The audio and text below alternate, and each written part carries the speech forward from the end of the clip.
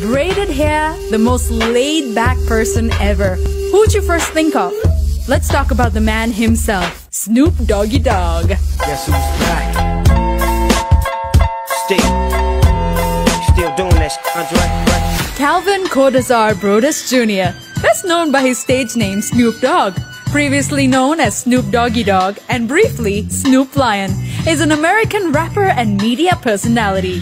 Born on October 20th, 1971, currently at the age of 48 years, can you believe it?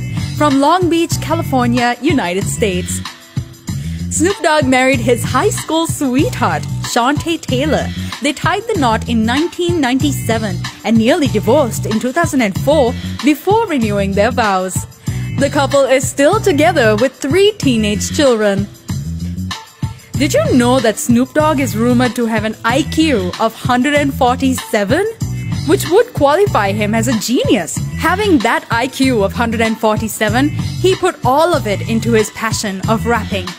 Snoop Dogg has refined the West Coast hip hop industry in many ways with his unique style of rapping. Here's to wishing the legend a happy birthday.